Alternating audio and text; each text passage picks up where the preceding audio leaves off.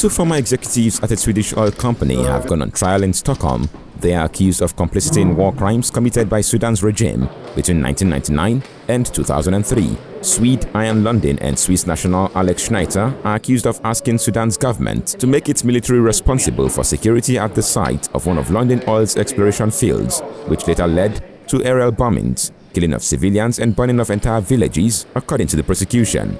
Lundin was chief executive of the family firm Lundin Oil, now known as Orron Energy, from 1998 to 2002, and Schneiter was the vice president at the time. The trial is said to be the biggest in Swedish history, following an over a decade-long probe, a more than 80,000-page investigation report, and closing arguments scheduled for February 2026.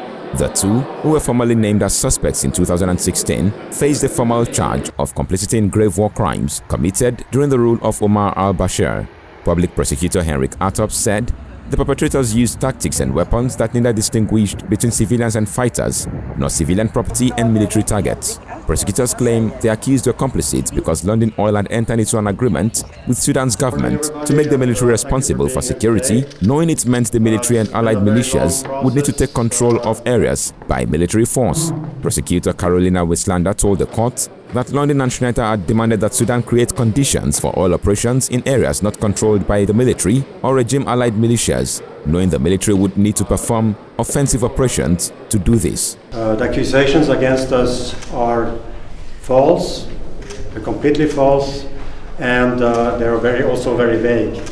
Uh, Sudan has suffered um, from internal conflicts for, for many, many years, but we never had anything to do with these conflicts. If convicted, Lundin and Schneiter risk life sentences. The prosecution has already requested that the two be banned from any business undertakings for 10 years. It has also asked for the confiscation of $218 million from Orron Energy, equivalent to the profits the company made on the sale of its Sudan operations in 2003.